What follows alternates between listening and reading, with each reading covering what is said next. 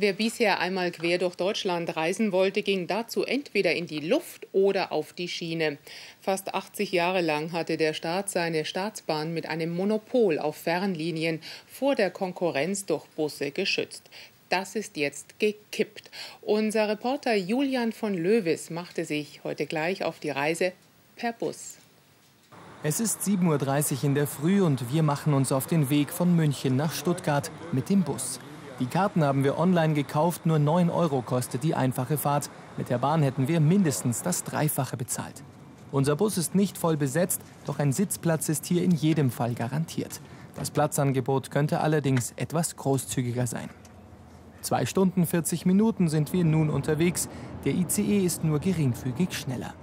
Trotz einiger Baustellen kommen wir pünktlich auf die Minute in Stuttgart an. Hier haben wir uns mit einem der Gründer von deinbus.de verabredet.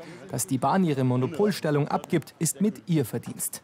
Die Deutsche Bahn hat äh, natürlich mit Händen und Füßen versucht, sich zu wehren gegen neue Konkurrenz. Wir wurden sogar verklagt von der Deutschen Bahn, äh, aber schlussendlich haben wir gewonnen, können jetzt eben äh, an die also zehn Linien im Süden Deutschlands wirklich fahren, so ein richtig kleines Netz in Süddeutschland.